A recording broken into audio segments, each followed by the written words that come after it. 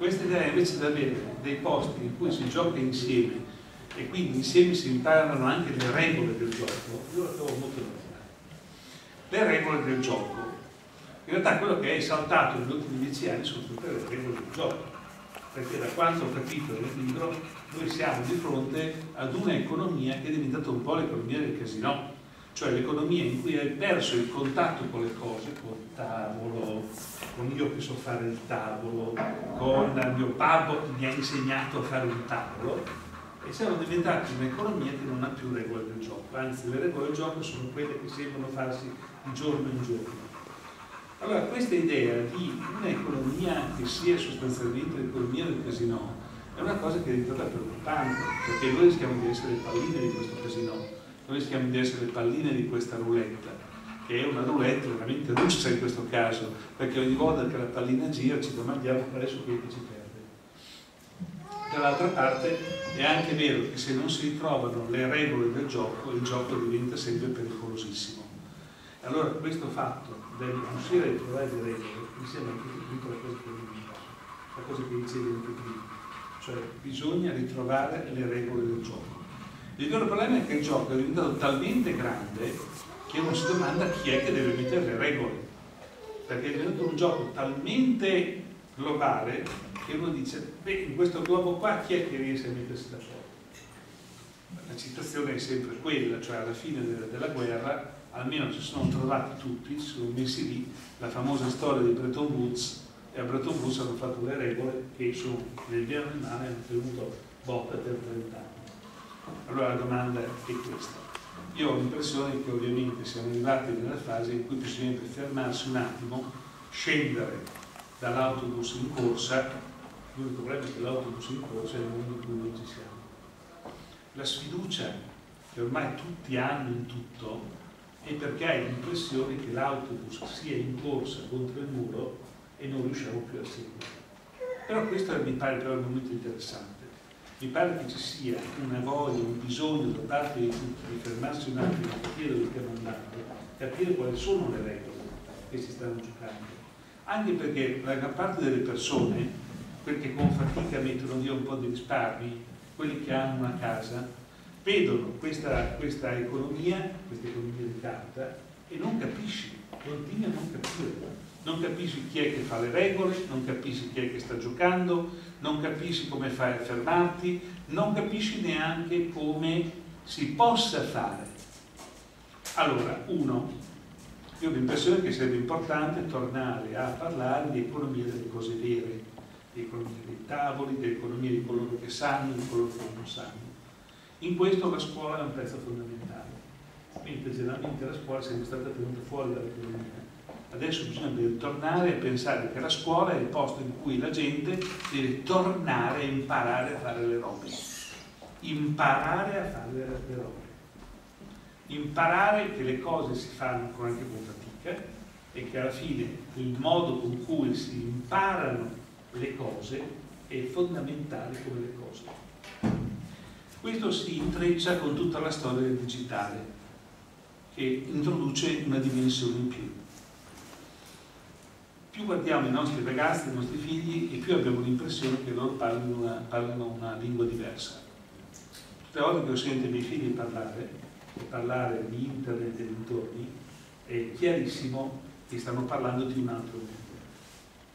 Allora anche questo è un'altra cosa da imparare bisogna imparare come il web, eh, la rete, internet sta creando anche in questo caso dei mondi paralleli. Lì salta fuori però una cosa interessante che io non sapevo, che sto imparando in questo periodo. In realtà tutti coloro che viaggiano sulla rete sanno che stanno diventando sempre di più le communities. Le communities, pensateci in un momento in cui facciamo fatica a trovare la nostra comunità, in un momento in cui è sempre più difficile trovare la comunità, nel senso del mondo e la sua aggregazione sociale, sul mondo parallelo della rete ci sono le communities. Le communities di quelli che navigano sui divani di casa, le communities di coloro che scrivono gialli, le communities di coloro che mangiano sano, la communities Pensate a questa storia delle communities. La Ducati ha fatto una communities. La communities vuol dire che tu entri nel sito della Ducati e partecipi e parli fra coloro che si sentono ducatisti. Secondo voi quanta gente c'è iscritta alla community della Ducati? 800.000. 800.000 persone si riconoscono nella community Ducati. Alcenero, che è un'azienda che fa sostanzialmente prodotti biologici, ha una community da 50.000 persone. Allora questa storia mi ha colpito molto perché nel momento in cui tutti ci sentiamo che non capiamo più niente di quello che succede, non capiamo più niente della finanza, non capiamo più niente del mondo, non capiamo più niente dell'Iraq, dell'Iran, quelle robe lì, nel momento in cui sembra che tutti siamo spersi e sparsi, dal basso c'è un grande bisogno di socialità, dove non ce ne immaginavamo neanche. Quelli che si aggregano sull'Alcenero, quelli che si aggregano sulla Ducati, quelli che si aggregano sull'Autoteca. E tutte le volte che io domando di una community, ma cosa sono i caratteri fondanti di una community? Che cos'è che individua il ducatista? Posto che poi mi spiegano quella della Ducati che quella volta che hanno provato a usare la community Ducati per fare pubblicità alla Ducati, questi hanno spento tutto. Dice, ma il ducatista è uno che sa fare a giocare, che però accetta le regole, rispetta le regole e quindi riconosce la competenza degli altri. Poi ho fatto la stessa domanda a quelli che si occupavano di alceneri. Ma cos'è che caratterizza un alcenerista? Eh, perché gli piacciono le cose originali di base, perché rispetta le regole, perché rispetta quell'altro. Io faccio magari adesso una domanda a lui, cos'è che caratterizza la community dei coach, detto, coach server, me l'ha, appena spiegato per questo, eh?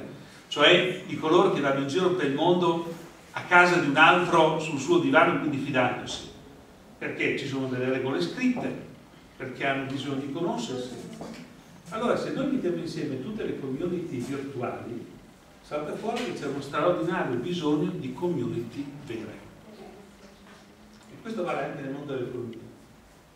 C'è questo enorme pallone che ha confuso tutti e ha tolto la fiducia l'uno nell'altro. C'è un enorme bisogno di riscoprire alcune cose fondanti, che sono la fiducia l'uno nell'altro, l'essenza delle cose, il valore non della moneta, ma di quello che ci sta sotto. C'è un enorme bisogno di scoprire la solidità delle relazioni umane. Se questo non lo fai, l'economia diventa un gioco pericoloso, se questo non lo fai, la geopolitica è un videogame, se questo non lo fai, la politica è assolutamente un altro gioco pericoloso e assolutamente lucrativo. Allora, da tutto questo imparo questa cosa oggi. Uno, bisogna tornare a giocare. Il giocare implica la capacità di divertirsi perché stai insieme con qualcun altro con cui condividi le regole, ma anche il piacere di stare assieme bisogna riscoprire la voglia di stare assieme. Secondo, mentre scopriamo di stare assieme, dobbiamo domandarci anche perché, è quello che dici te. Ma l'essenza delle cose, dove è finita? È soltanto uno spot pubblicitario? No, eh. Allora, questo vale anche per l'economia.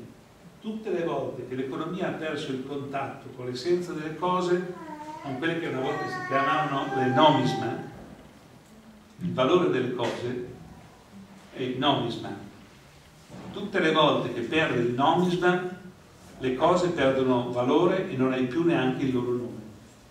Tutte le volte che la moneta perde il nomisma che ci sta sotto diventa un gioco per e quindi diventa un thriller e prima o poi scopriamo quel che era assassino.